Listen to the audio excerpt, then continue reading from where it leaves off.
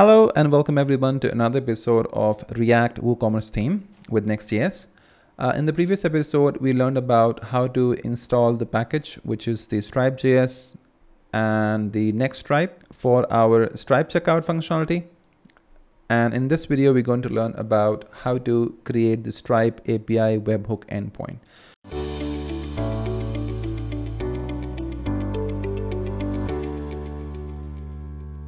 So as I explained earlier in the previous video that the reason why we need the Stripe API webhook endpoint so that after the payment has been made for the order, your, your WooCommerce order, then uh, it is going to call our endpoint automatically. And at that endpoint, it's going to, there will be an event which will be listening to the checkout point. And then once that event is fired, which means the uh, payment has been complete or declined or whatever, then accordingly we can take the action and we can go ahead and change the order status from hold to processing.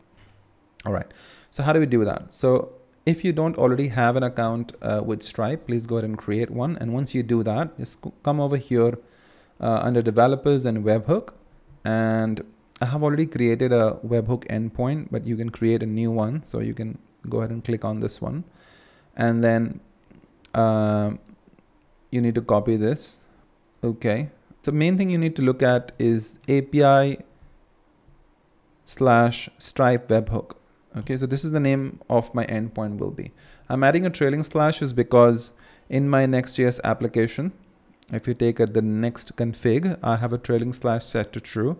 If that is not set to true, then you, you can you know remove this trailing slash, otherwise please keep it. The next thing you're gonna need is basically your Next.js site URL. So if you depending on where it's installed so in case if you go to mine so depend on depending on where it's deployed in this case mine is deployed at woo hyphen next hyphen imran dot vercel dot app. So we can add that here okay? So but whatever your um, url is where your next.js is ho hosted you need to put that url here all right and then slash API and then slash uh, Stripe webhook. So that's going to be my endpoint. And that's exactly the name of the file of the API will be. So if you come to pages in Next.js application API, you can see that the name is Stripe webhook uh, for this endpoint. So you need to replace this name with the Stripe webhook web hyphen hook. So whatever name you keep for this endpoint, you need to change it uh, to that one. So uh, if it was Stripe webhook like one word, you will replace that here. Okay, so it has to be the same. And then the trailing slash. And then if you want to put any description, you can. The next thing you want to do is select the event. So look for checkout. So, and this is the event that we're looking for, checkout session completed. So check on that one. And then go ahead and add the endpoint. So click on that and the endpoint will be added. I have already done that, so I won't be doing that again. So you can see this is my endpoint. It's currently enabled. Uh, that's the URL uh, event type checkout session completed. Uh, there are some of the session attempts that have been succeeded. So I have got 200 OK for these ones. And you can always open it and check, you know, what type of uh, checkout event was, what it is. You can always check what was the status code, what was the request to your endpoint, what was the data and stuff. So all of that information you can find here. All right. So we'll come back to this one once we have set it up completely, but uh, this is how you create the uh, endpoint. And once you do that, you come back to your Stripe webhook, and this is where you're going to add all the required information. So you're going to pull the buffer from the micro. You're also going to install the Stripe. So make sure you do npm install Stripe. So make sure you install Stripe as well. Okay. And then uh, you're also going to need the WooCommerce REST API. So make sure you install that and I'll explain to you why you need that. So go ahead and install this. This WooCommerce REST API is needed so that when we are registering our own custom endpoint to create the order, then uh, we can use this WooCommerce REST API. Now, if you're wondering why did we use the uh, REST API instead of when we're using GraphQL, the reason for this is because the default create order mutation in WP GraphQL WooCommerce uh, basically is for admins. Okay. Uh, the current checkout mutation that is available uh, doesn't have everything that we need for our functionality to work. And that's why we're using the create order.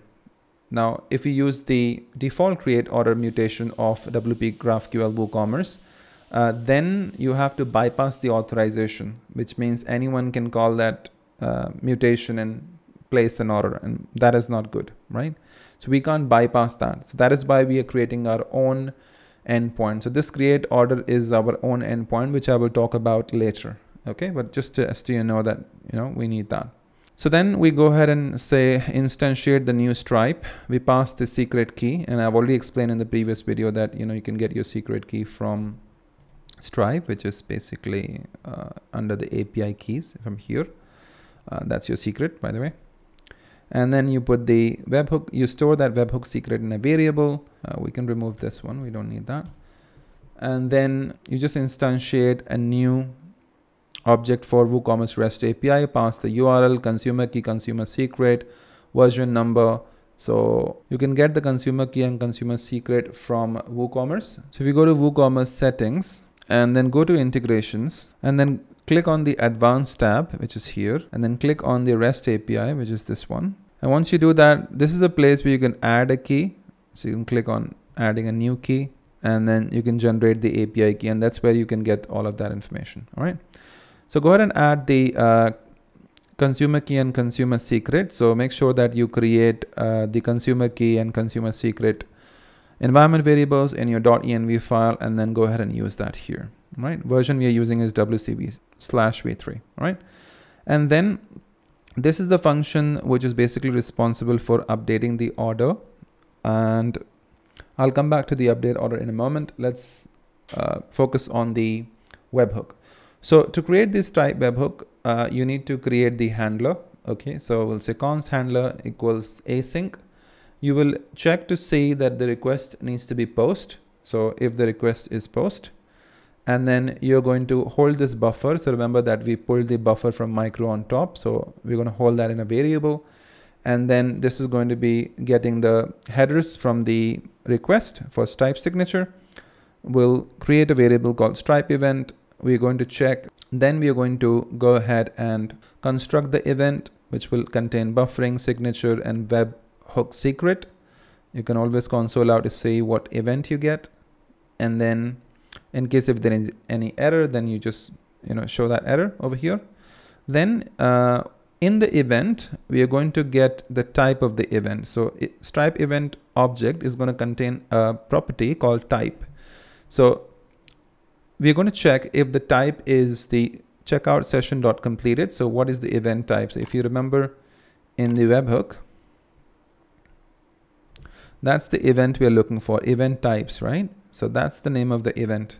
So we're checking if this is the event, then we're going to uh, get the session from the stripe event.data.object and then if I, and then when we do that then we call the update order in case if this is successful which means if we have successfully uh, if this event is successfully fired then we go ahead and update the order if it isn't then again we go ahead and update the order call the same function but this time with failed so we pass the order ID so we'll have the order ID in this webhook and we're also going to get the session ID and if you're wondering how am I going to get the order ID and the session ID and the webhook, so I will be explaining that to you once we actually create this Stripe session.